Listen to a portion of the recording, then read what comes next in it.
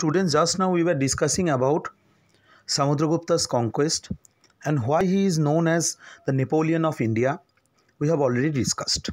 Now we will focus about his love for music and poetry and his contribution. Right now on screen you can see one gold coin. On that gold coin it is inscribed a person is playing an instrument. It is the person is Samudragupta and he is playing veena, a musical instrument.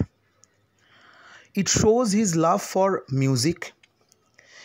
He also took the title of Kaviraj and he promoted Sanskrit, and that is why the Allahabad Prashasti or the Prayag Prashasti on, a, on an Ashokan pillar in Sanskrit, his court poet Harisena inscribed and written detail about his conquest and his nature of rule.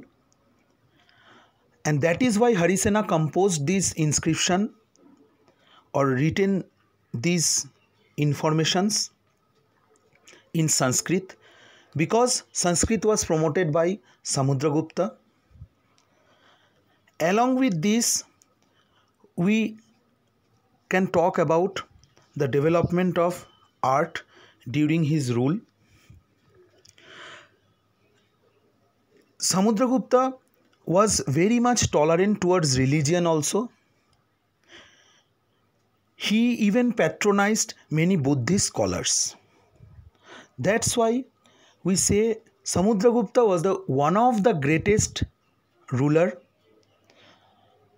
among all the Gupta rulers.